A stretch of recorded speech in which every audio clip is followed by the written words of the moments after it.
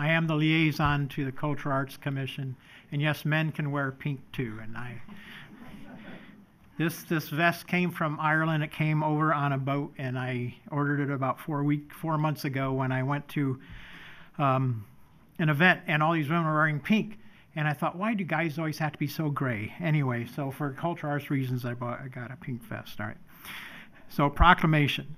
Whereas the month of October has been recognized as National Arts and Humanities Month by thousands of communities, cities, and states across the country, as well as by the White House and Congress, and whereas the arts and humanities embody much of the accumulated wisdom, intellect, and imagination of humankind, and whereas the arts and humanities enhance and enrich the lives of every American, and whereas the arts and humanities play a unique role in the lives of our families, our communities, and our country.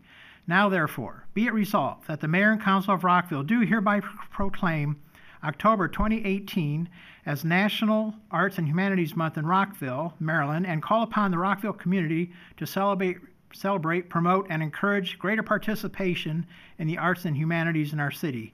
And I so move the proclamation. I'll second it. It's been moved and seconded. All those in favor, please raise your hand. It is unanimous. So who's accepting it? There you go. So we're going to get a picture.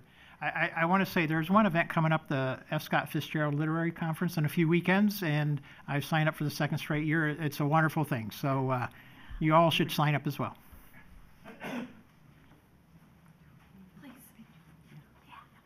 Um, I would just like to say thank you for um, this really wonderfully worded uh, proclamation, Betty.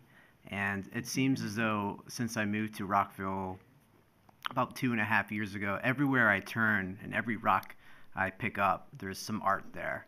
And I'm really excited to be part of this commission. I know I'm still learning the ropes. Thank you very much, Betty. But um, I'm really interested, and hopefully, I can be of some help as well with the commission to see how the public gets to interact with art in new and fantastic and exciting ways for Rockville. And I'm really excited for the next couple of years. Thank you.